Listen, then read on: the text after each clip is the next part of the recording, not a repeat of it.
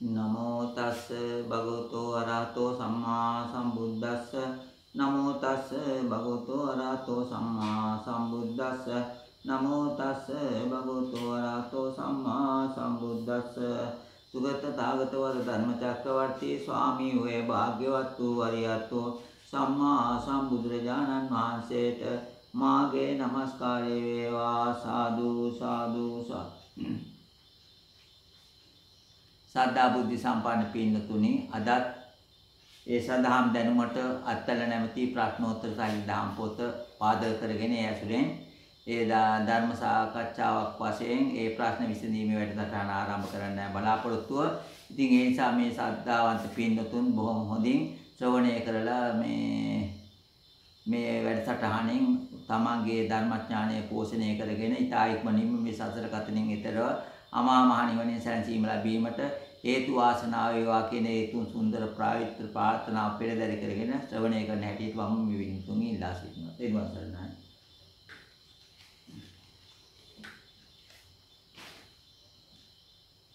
මේ දහම් පොත තමයි පින්නතුනි අපි ප්‍රශ්නෝත්තර වැඩසටහනට සම්බන්ධ කරගන්නේ.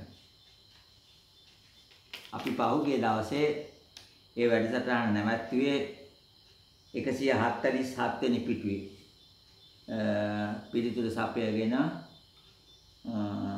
146 වෙනි පිටුවේ තියෙන ප්‍රශ්නෙට 307 වෙනි ප්‍රශ්නේ තමයි අපි අවසාන වශයෙන් විසඳගත්තේ. අපි බලමු මේ ප්‍රශ්නේ නැවතත් කියවලා එක්තරා මහරහතන් වහන්සේ නමක් විසින් දැරියකගේ හිස තන දරනුවක් පළඳවා එය රන්මාලාවක් රත්රන් කළසේක. බිම්සර මහරජුගේ මාලිගාවද රත්තරම් බවට පත් කළසේක.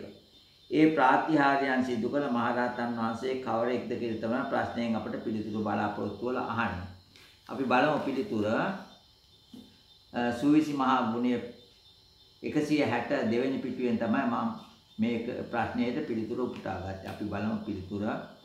පිළින්දි වච්ච රහත් පෙරණුවෝ දැරිය කෙරේ ප්‍රාතිහාර්ය පාමින් ඉස තිබුණු තනදරනුව රන් මල් දමක් ඒ කියන්නේ රන් මාලයක් බවට පත් කළසේ.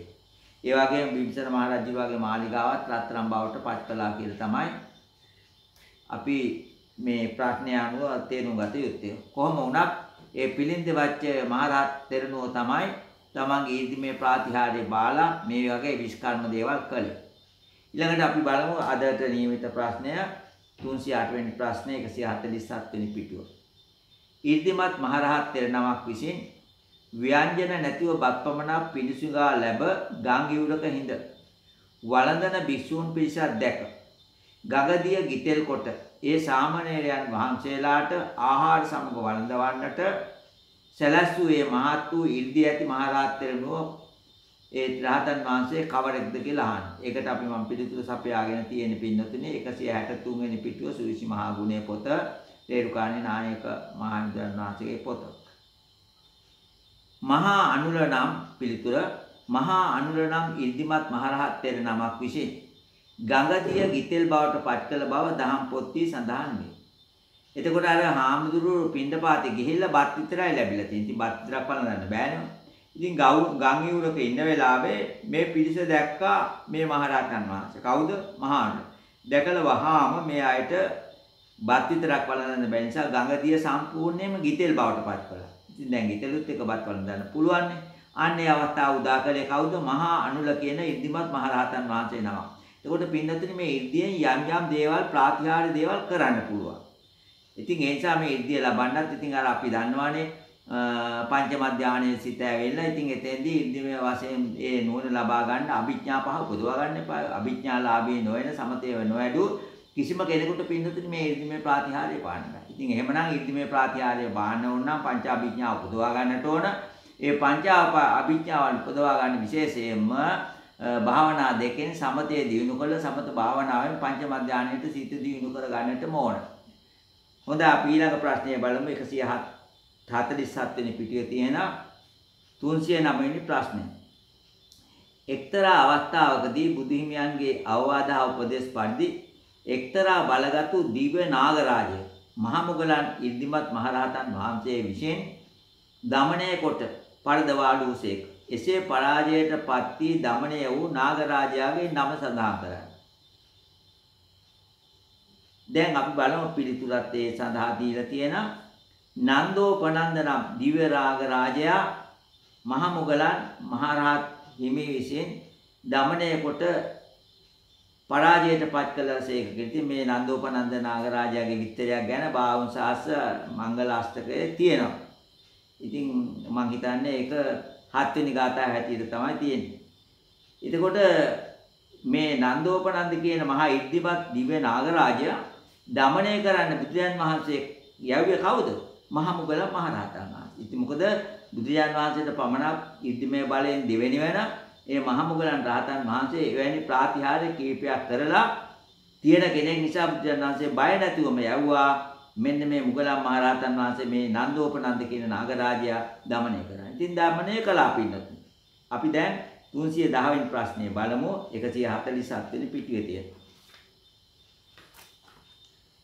නන්දෝපනන්ද නාගරාජයා দমনය කරන අවස්ථාවේ මුගලන් මාහිමියන් විසින් ඉර්ධිමය බලය යොදා සත්ත්ව රූප දෙකක් මවා ගන්නා ලදී. ඒ සත්ත්ව රූප දෙක නම් කරයි. දැන් මේ නම් දෝපනන්ද නාගරාජය দমনය කරන්න පැමිණි මහ මුගලන් මහරහතන් වහන්සේ ඉදෙමතුන් අතර අග්‍රයිනේ බුදුන් වහන්සේට පමණක් දෙවෙන්නේ. ඉතින් තමන්ගේ ඉර්ධිමය බලය යොදලා සත්ත්ව රූප දෙකක් මැව්වා. තිරිසන් සත්ත්ව රූප දෙකක්. ඒ මොකද්ද කියලා තමයි අහන්නේ. අපි බලමු පිළිතුර. මුගලන් මහරහතන් වහන්සේ විසින් එක් විටකදී නාග වේශයක්ගෙන හා තවත් විටක ගුරුළු වේශයේදගෙන වෙස් මාරු කර ගනිමින් ඒ නාගරාජයා පරදවන ලද. එතකොට මේ නාගරාජයාගේ දිව්‍ය නාගරාජයෙක් නිසා එයාටත් බොහොම තේජසක් තියෙනවනේ. එයා මර්ධනය කරන්න, দমনය කරන්න මොකද කරේ? මුගලන් මහරහතන් වහන්සේ විතක නාග වේශයක් මවාගත්තා. තවත් විතක ගුරු මොකද ගුරුලට නාගයා බයයිනේ. ඒ නිසා තමයි මේ විදිහට නාග වේශයක් මවාගෙන විතක තවත් විතක ගුරුළු වේශයක් මවාගෙන බෙස් මාරු කර කර මේ නාගරාජයා පැවැත්තුවා. ඒ බුදුන්වහන්සේගේ අනින් තමයි ඒක කළේ කවුද? මහා ඊර්තිමත් වාම ශාවික පින්නතින් ශාවක උතුම් මහා මොග්ගල්යාන මහයිත්‍රයන් වහන්සේ. රහතන් වහන්සේ. අපි දැන් බලමු 148 වෙනි පිටුවේ තියෙන 311 වෙනි ප්‍රශ්නය. සතර සතිපට්ඨාන සූත්‍රයට අනුව චිත්තානුපස්සනාවේදී චිත්තයන් ආකාර 16ක් 16ක් කියන්නේ 16ක් නේ කොට දක්වා ඇත.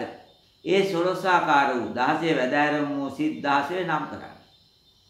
මේක තියෙන්නේ පින්නතින් අපෙන් ආන්නේ සති සතර සතිපට්ඨාන සූත්‍රය අනුව මේ සිත් ගැන විග්‍රහ කරන සූත්‍රයක් නේ චිත්තානුපස්සනාවත් එක්තරා කමඨහනක් නේ ඉතින් ඒ කමඨහනට අනුව තියෙන සිත් ගණන තමයි 16 ඒ 16 නම් කරන්න තමයි අපේ මේ ප්‍රශ්නේ පිළිතුරු බලාපොරොත්තු වෙන්නේ. අපි බලමු පිළිතුර. සතිපට්ඨාන සූත්‍ර දේශනාවේදී ආකාර සතරක් වශයෙන් සතිය, සීය. සතිය කියන්නේ සීයනේ. පිහිටවා ගැනීමට වදාරා ඇත. කාය, වේදනා, චිත්ත, ධම්ම. ඒ කියන්නේ කායනුපස්සනා, වේදනානුපස්සනා, චිත්තානුපස්සනා, ධම්මානුපස්සනා වශයෙන් සතර ආකාර වූ මේ සතර සතිපට්ඨානය තමයි එතකොට මේ සතර පෙන්වා දී ඇත්තේ ඒ හතර හැටියට. මොකද්ද? කාය වේදනා චිත්ත ධම්ම වශයෙන්. ඉන් චිත්තානුපස්සනාවට සිත් 16ක් පෙන්වා දී ඇත. පළවෙනි එක කායानुපස්සනාව දෙවෙනි එක වේදනා. තුන්වෙනි එක තමයි චිත්තානුපස්සනාව. ඒ චිත්තානුපස්සනාවට සිත් 16ක් පෙන්වා දීලා තියෙනවා සතිපට්ඨාන සූත්‍ර දේශනාවේදී පිළිත් පොතේ. අපි බලමු ඒක මහා සතිපට්ඨාන සූත්‍ර දේශනාවට අනුව. පළවෙනි එක සරාගං වා චිත්තං සරාගං චිත්තාන්ති පජානාති. ඒ කියන්නේ රාග සහිත සිත දැන ගැනීම. Tamanට පහළ වෙච්ච සිත රාග සිතක් බව දැනගන්න. දෙවෙනි එක වීත රාගං වා චිත්තං වීත රාගං චිත්තාන්ති පජානාති. රාග සහිත සිත රාගය නැති සිත දැන ගැනීම. Tamanට පහළ වෙච්ච සිත රාග සිතක් නොවේ කියලා දැනගන්න. තුන්වෙනි එක සදෝසං වා චිත්තං සදෝසං චිත්තාන්ති පජානාති. ඒ කියන්නේ දේශයේ පටිගේ තියෙන සිත බව දැනගන්න. හතරවෙනි එක වීත දෝසං වා චිත්තං වීත දෝසං චිත්තාන්ති පජානා. ඒ කියන්නේ ද්වේෂය පටිකේ නැති සිතක් බව තමන්ට පැමිණි සිත ගැන අවබෝධ කරගන්න දැනගන්න. ඊළඟට පස්වෙනි එක සමෝහං වා චිත්තං සමෝහං චිත්තාන්ති පජානා. මෝහය සහිත සිතක්. ඒ කියන්නේ අවිද්‍යාවට බර වුණු සිතක් බව දැනගන්න. සමෝහං වා චිත්තං සමෝහං චිත්තාන්ති පජානාති කියන්නේ ඒකයි. ඊළඟට හයවෙනි එක විද මෝහං වා චිත්තං වීත මෝහං චිත්තාන්ති පජානාති. මෝහය රහිත සිත දැනගනි. ඒ කියන්නේ මෝහ තමන්ට අවිද්‍යාව නැති සිතක් පහළ වුණා කියලා දැනගන්නවා. ප්‍රඥාවන්ත සිතක් කියලා. ඊළඟට හත්වෙනි එක සංකිත්තං වා චිත්තං සංකිත්තං චිත්තාන්ති පජානා. ඒ කියන්නේ හැකුළුණු සිතක් බව දැනගන්නවා තමන්ට පහළ වෙච්ච සිත හැකිලිච්ච එකක් කියලා. ඊළඟට පින්නතුනි අටවෙනි එක වික්කිත්තං වා චිත්තං වික්කිත්තං චිත්තාන්ති පජානාති. ඒ කියන්නේ තමන්ට පහළ වෙච්ච සිත විසිරුණු සිතක් බව දැනගන්නවා. එහෙම විසිරිච්ච සිතක්. ඊළඟට නවවෙනි එක මහග්ගතං වා චිත්තං මහග්ගතං චිත්තාන්ති පජානාති. මහග්ගත සිතක් බව තමන්ට පහළ වෙච්ච සිත දැනගන්නවා. ඊළඟට 10 වෙනි එක අමහග්ගතං වාචිත්තං අමහග්ගතං චිත්තන්ති පජානාති. අමහග්ගත සිතක් බව දැනගන්නවා තමන්ට පහළ වෙච්ච සිත මහග්ගත නොවන අමහග්ගත සිතක් බව. ඊළඟට 11 වෙනි එක සෞත්තරං වාචිත්තං සෞත්තරං චිත්තන්ති පජානාති. කාමාවචර සිතක් බව මට පහළ වෙලා තියෙන කියලා එයා දැනගන්නවා කාමාවචර සිත ගැන. 12 වෙනි එක අනුත්තරං වාචිත්තං අනුත්තරං චිත්තන්ති පජානාති. ඒ කියන්නේ කාමාවචර නොවන උසස් සිතක් බව දැනගන්නවා අනුත්තර සිත දැනගන්නවා Tamanට පහළ වෙච්ච ඒ සිත ගැන. 13 වෙනි එක සමාහිතං වාචිත්තං සමාහිතං චිත්තන්ති පජානාති. අර්පණා උපචාර සමාධි සිත දැනගන්නවා. Tamanට පහළ වෙලා දැන් තියෙන්නේ අර්පණා උපචාර සමාධි සිත කියලා එයා දැනගන්නවා Tamanට පහළ වෙච්ච සිත ගැන. ඊළඟට පින්නදී 14 එක අසමාහිතං වාචිත්තං අසමාහිතං චිත්තන්ති පජානාති. අර්පණා උපචාර සමාධි රහිත සිත දෙය කියන්නේ Tamanට මේ වෙලාවේ පහළ වෙලා තියෙන්නේ අර්පණා උපචාර කියන සමාධි නැති සිතක් එකක නොවුණු සිතක් කියලා දැනගන්නවා. ඊළඟට 15 වෙනි එක විමුක්තං වාචිත්තං විමුක්තං චිත්තන්ති පජානා. තදංග වික්කම්පන වශයෙන් මිදුණු සිතක් බව දැනගන්නවා. ඒ කියන්නේ කෙලෙස් යටපත් කරපුවාමනේ කියන්නේ තදංග විස්කම්පන වශයෙන් එවැනි කෙලෙස් යට කරගත්ත සිතක් බව දැනගන්නවා 15 වෙනි එක. විමුක්තං වාචිත්තං විමුක්තං චිත්තන්ති පජානාති කියන්නේ ඒකයි. ඊළඟට 16 වෙනි එක අවිමුක්තං වාචිත්තං අවිමුක්තං චිත්තන්ති පජානාති. තදංග වික්කම්බන වශයෙන් නොමිදින සිතක්. ඒවා තියෙන සිතක් බව අඳුර ගන්නවා Tamanට කෙලෙස් යටපත් කරගන්න බැරි වුණා කියලා එයාගේ හිතෙන් එයා දැනගන්නවා. මෙන්න මේක තමයි පින්නතුනේ මේ චිත්තානුපස්සන ප්‍රභේද 16. ඒක සඳහන් වෙන්නේ මහා සතිපට්ඨාන සූත්‍රයේ පොතේ බැලුවම දැනගන්න පුළුවන් මේක හොඳට විග්‍රහ වෙලා තියෙනවා පින්නතුනේ. ඊළඟට පින්නතුනේ 149 වෙනි පිටුවේම තියෙන 312 වෙනි ප්‍රශ්නය බලමු. කැඩපතකින් ඒ කියන්නේ කණ්ණාඩියකින්නේ රූප දකින්නාසේ සිත් දකින්නා වූ අනුන්ගේ සිත් අනුන්ගේ සිත් දැක් ගන්න කෙනෙක් නුවණ ඇති අයට ඒ අයගේ එම රූප දකින්න ප්‍රඥාව කරන කවර නමින් හැදින්නේ අපි නැවතත් ප්‍රශ්නය කියලා බලමු කැඩපතකින් හෙවත් කණ්ණාඩියකින් රූප දකින්නාසේ සිත් දකින්නා වූ අනුන්ගේ සිත් දැනගන්නා නුවණ ඇති අයට ඒ අයගේ එම රූප දකින්න ප්‍රඥාව කරන කවර නමින් ප්‍රසිද්ධ වේද නැත්නම් අඳුර ගන්නවාද කියලා නම අහන්න. අපි ඒකට කියනවා පිළිතුරු වශයෙන් චේතෝපරිය ඥානේවත් පරිචිත්ත විඥානන ඥානය. නම් මේ පංචවිධ අභිඥාවන්ගෙන් ඒක. දැන් මේ චේතෝපරිය ඥානය කියන එක පින්නොත් අභිඥාලාභීන්ට පමණයි තියෙන්නේ. දැන් මේ අපිට පින්නතුත් ඒක නැහැ. යම් මං කිව්වනේ පංච මධ්‍යානයට චිත්ත දීනු කරලා ඊට පස්සේ ඒ ධානලාභියා යෝගියා පින්නතුනේ සිත මෙහෙවන අභිඥා පාදක කරගෙන. අන්න ඒ වෙලාවට මේ අභිඥා පහ ඉන්දිවිද දිබ්බසෝත පරිචිත්ත විඥාන පුබ්බේ නිවා දිබ්බ චක්කු කියලා. එතකොට පින්නතුනේ තුන්වෙනි එක තමයි ඔය පරිචිත්ත විචාරණ නැත්නම් අනුගේ සිත් දැන ගන්න ආනකොට අපි තව නමක් කියනවා චේතෝපරිය ඥානය කියලා. ඒක හැමෝටම ලබන්න බෑ කරන්න බෑ.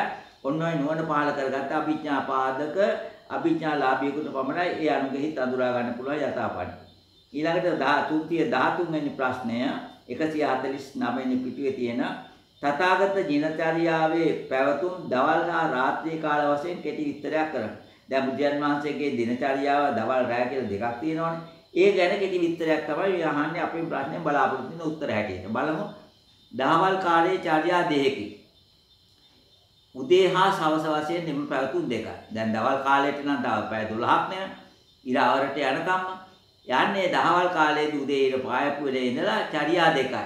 ඒ කියන්නේ උදේ 1යි හවස 1යි වශයෙන්. ඊළඟට රාත්‍රී කාලයේ පෙරයම් කිස, මැදියම් කිස, අලුයම් කාලයේ පැසුලියම් කිස.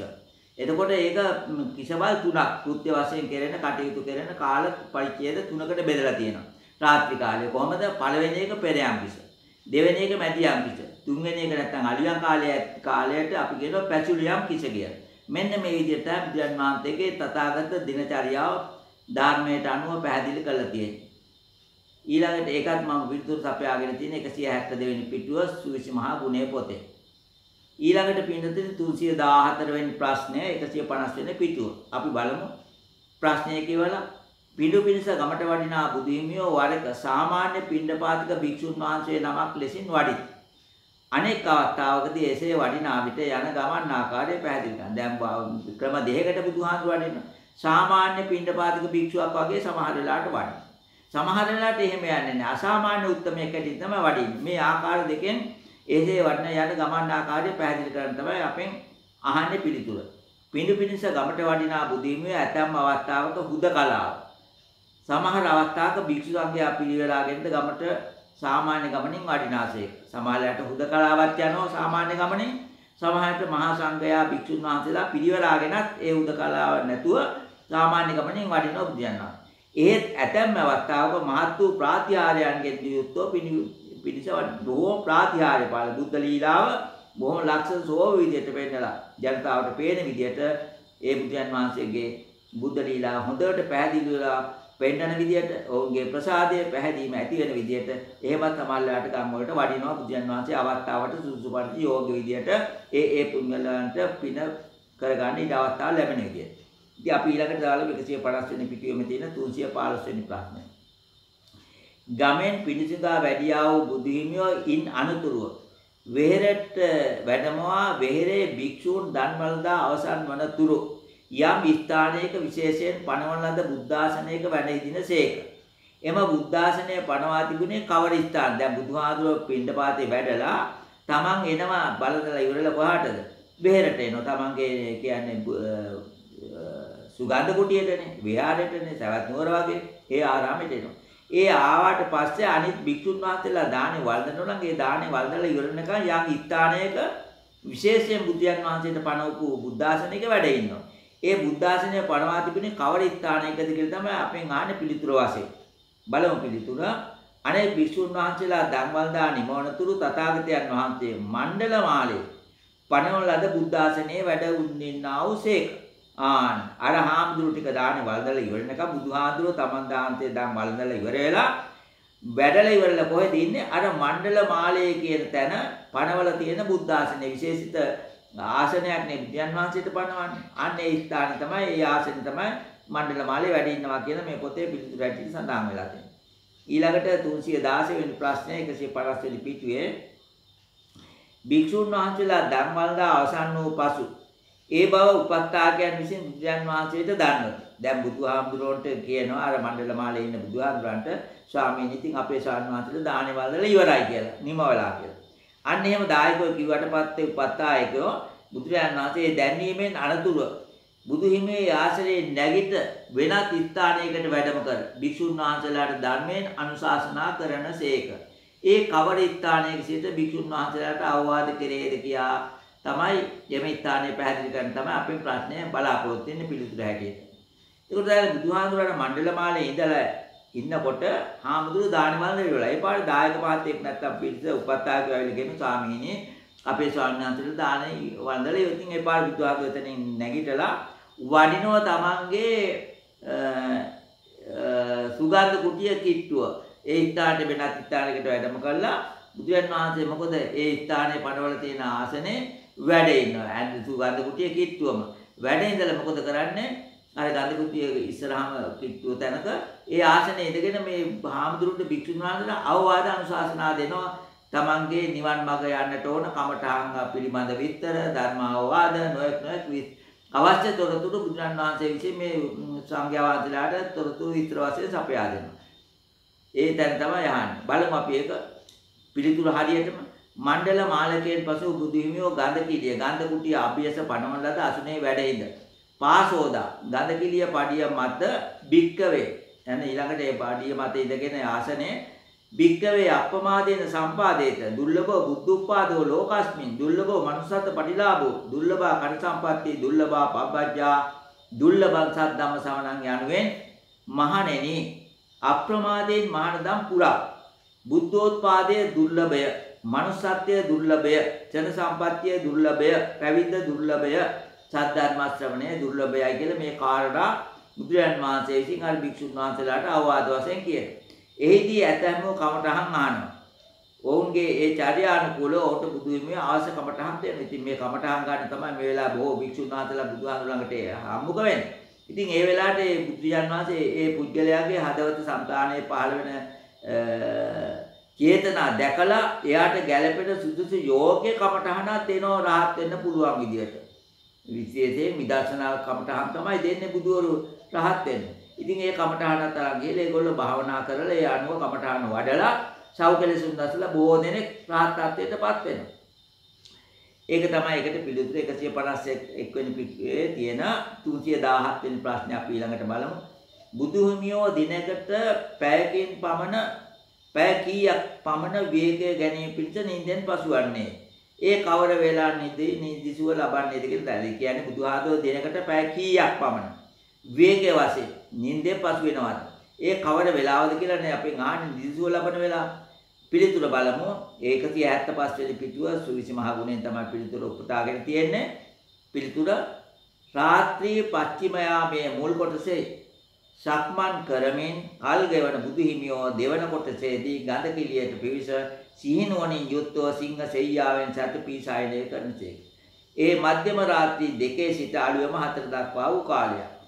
ඒ තමා බුදු හිමි නින්දට යන කාලය වෙන්නේ. එතකොට බුදුහාමුදුරු නිදා ගන්න රාත්‍රී කීයටද? තමන්ගේ කායික විවේකයේ සඳහා රාත්‍රී දෙකේ ඉඳලා අලුයම හතර දක්වා පැය දෙකයි පින්නතුනි. අපි වගේ මේ පැය හත අටක් බුද්ධිය ගන්නෙ නැහැ. නිදා ගන්නෙ නැහැ. ඉතින් මේ බුද්ධයන් වහන්සේගේ සිරිත. ඒ තමයි බුදුහාමුදුරු නින්දට යන කාල වේලාව රාත්‍රී දෙකේ සිට අලුයම හතර දක්වා. ඊළඟට 151 වෙනි පිටුවේ තියෙන අපි ප්‍රශ්නේ බලමු 318 බුදු හිමියෝ එසේ රාත්‍රියේ සැතපෙන අවස්ථාවේදී සී සායනයේදී කවර වූ ආකාරයකින් කවර විලාසයකින් සැතපෙන සේද. දැන් බුදුහාමුදුරේ ගිහිල්ලා රෑ දෙකේ ඉඳලා හතර වෙනකන් සැතපෙන ස්ථානයක් තියෙනවනේ.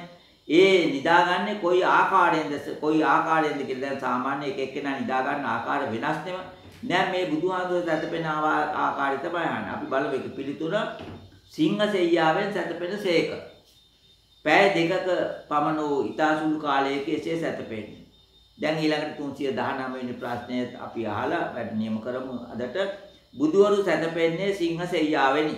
ඒ ඉරියව්ව පැහැදිලි කරන්න. සූවිසි මහා ගුණයේ 172 වෙනි පිටුවෙන් තමයි මම පිළිතුර උපුටාගෙන තියෙන්නේ. බලමු අපි පිළිතුර 319 ප්‍රශ්නයට මැදියම් ණය රාත්‍රී දෙක සිට අලුයම හතර දක්වා ඌ පැය දෙකක පමණ වූ කාලයේ බුදු හිමියෝ ගඳ කිලියට පිවිස සිහිනුවණින් යුක්තව සිංහ සෙයියාවෙන් සයනය කරන සේක. රාත්‍රියේ මධ්‍යම යාමේ දකුණු ඇලියට හැරි ඇලේට දකුණු ඇලේට හැරිලා එක් පායක් මත අනෙක් පාය මදක් ඉදිරියට කොට තබා ඊයේ යුක්තෝ වේලාවට අවදි වීමේ සංඥාව ඇතුව සිංහසෙයියාවෙන් ශයනය කරනසේක. පච්චිම යාමේ අවදි වී සිට පිරිදු කරනසේක. එසේ පිළිපැදීම ජාගරියාන යෝග නම් දී වැඩි විස්තර බලනවා නම් කෙනෙකුට 172 වෙනි පිටුව සුවිශ මහ ගුණේ පොත බලා ගත්තාම බලා ගන්න පුළුවන්. හොඳයි අපට අද මීට වඩා කාලය ගන්න බෑ. ඔය කාලේ ඉක්ුත් වෙලා අපේ සීමාව ඒ නිසා පින්නතුන් මේ ධර්ම ශ්‍රවණය කරගෙන මේ සාකච්ඡාවට සම්බන්ධව මේ පින්නතුන් හැමදෙනාටම ධර්මඥානය වඩා වඩා පෝෂණය වේවා. ඒකාන්ත වශයෙන් චතුරාර්ය සත්‍ය අවබෝධ කොට ඊටායි මන් දින එක මේ සීල සංසාදුකින් අධිපති හැමදෙනාටම පැතු බෝධින් අජරාම සංකාත අමෘතමා නිවනෙන් සංචෙන්ට පංචසත් දුකෙන් මිදෙන්න හේතු වාසනා වේවා කියලා මම ප්‍රාර්ථනා කරනවා. හැම දිනාටම තෙරුවන් සරණයි දැන් දෙවි රැකවරණ.